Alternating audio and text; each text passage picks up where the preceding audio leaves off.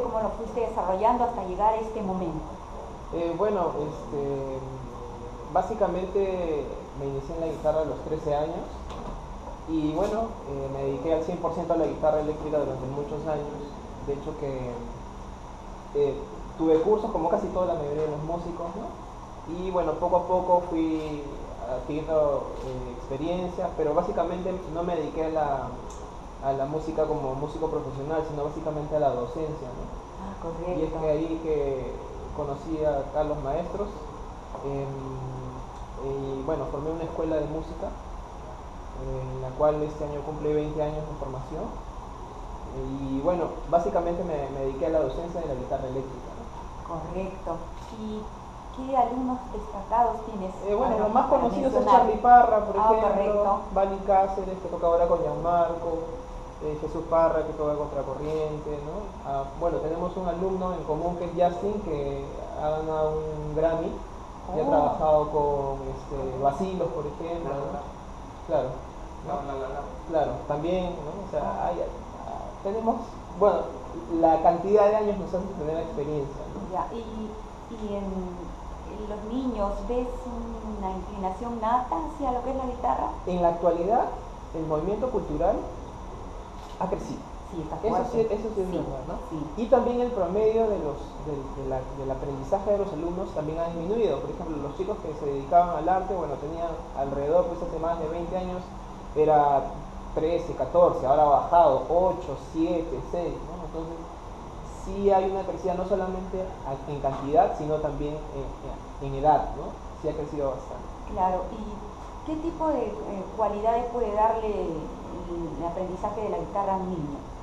En la guitarra básicamente es eh, los movimientos eh, cortos y pequeños para que pueda hacer la coordinación y básicamente el manejo, como casi toda la mayoría de los teóricos en la música, el, el aprendizaje musical mencionan es que es la conexión entre el hemisferio izquierdo y derecho del cerebro. Entonces eso hace trabajar la parte racional y obviamente la parte emocional.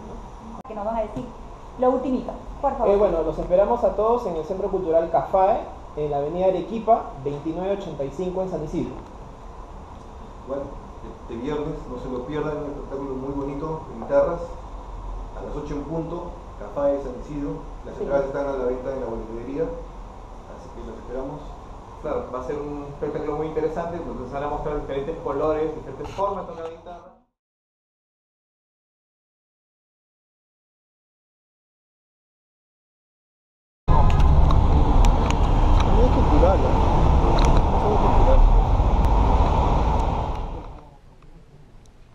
Saludos amigos del YouTube, estamos aquí en la prueba de sonido. Como ustedes han visto, entramos a. salimos, bueno, de la escuela donde trabajo y ahí estuvimos en el taxi. Después del taxi, bueno, ahora estamos en. recién hemos llegado en el auditorio. Es un auditorio súper chévere, es pequeñito, serán como para unas 120 personas más o menos. Y este, bueno, arriba están las luces, acá arriba, arriba, arriba, arriba está la, la, mm, la cabina de sonido. Y bueno, dentro de un ratito vamos a hacer la prueba de sonido. Primero vamos a instalar las cosas. He traído un set pequeñito, un box de 80 watts y bueno, un rack de efectos que creo que ustedes, la mayoría lo ha visto por el YouTube. Así que vamos a seguir y en un momento les enseño más cosas.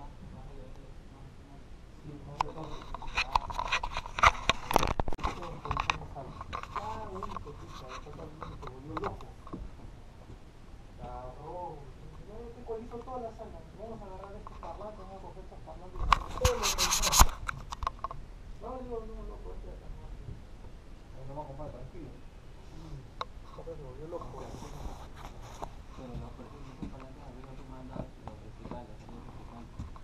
No, lo que pasa es que eso, o sea, los parlantes de arriba son parlantes pasivos. ¿Ya? Si fuesen activos, sí podría usarlos. Lo que pasa es que arriba solamente tengo un ampli nada más. Un solo ampli, no, no puedo usar esto. Un favor, este, para poner en alto mi ampli como la vez pasada. Ya, ya, chévere. Chévere.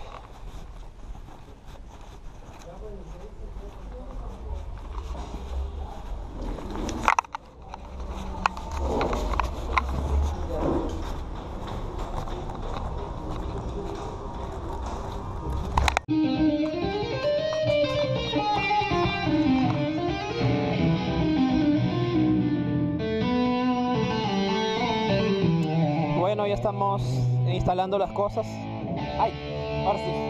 Bueno, ya estamos instalando las cosas. Vamos a empezar a, hacer la prueba de sonido, todavía falta instalar. Así que ahí vamos. Este video es para que los amigos que no tienen experiencia o de repente que quieren saber cómo son las lo- los recitales de guitarra, no, no, un- no es un concierto, básicamente es un recital, es algo más, eh, más, ¿cómo será la palabra? Es más íntimo, algo mucho más íntimo, y bueno, la diferencia de un concierto es que generalmente hay más potencia, bueno, a pesar de que ahorita hay eh, bastante amplificación y todo, ¿no?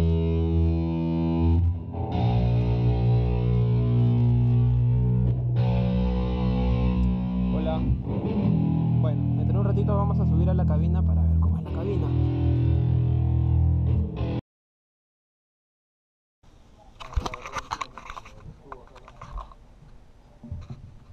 Creo que es independiente el audio del video, ¿ah? porque hay dos carpetas en la primera presentación. Hay una carpeta de pistas y hay una carpeta de videos.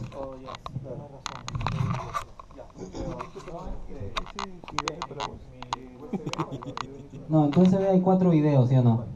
Ya, esos cuatro videos tienen audio.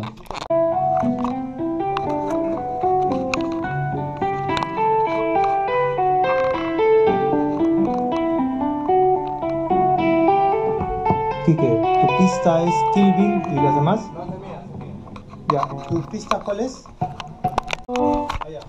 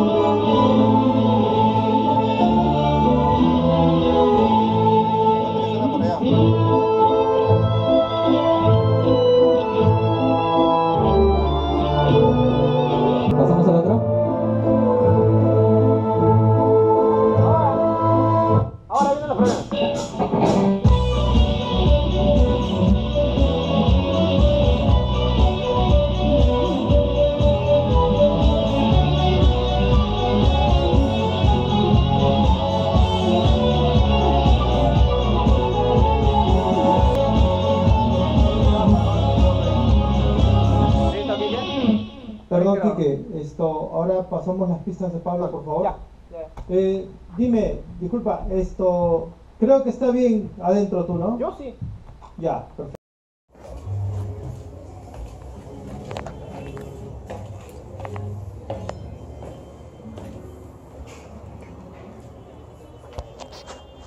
Sí, está, está yendo con el... un rever ahí. ¿Quieres un rever? Ok.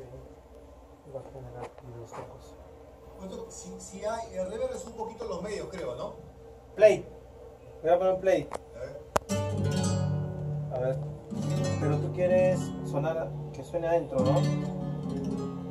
A ver ahí. O sea, afuera también métele un poco de reverb, ¿no? porque la sala es esa.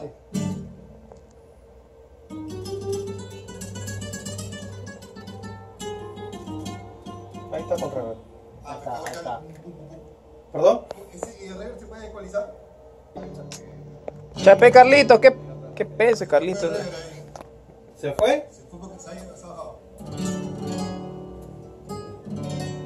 Esos son los nervios.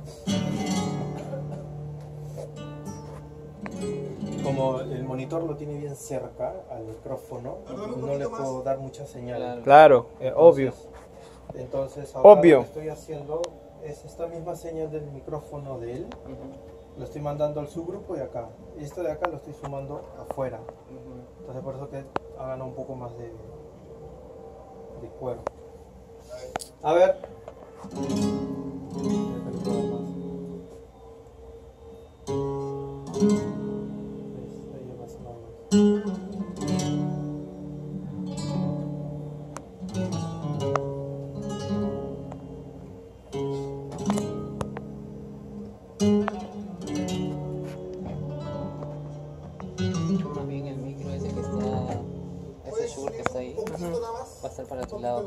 Nivel. tocas, ¿no?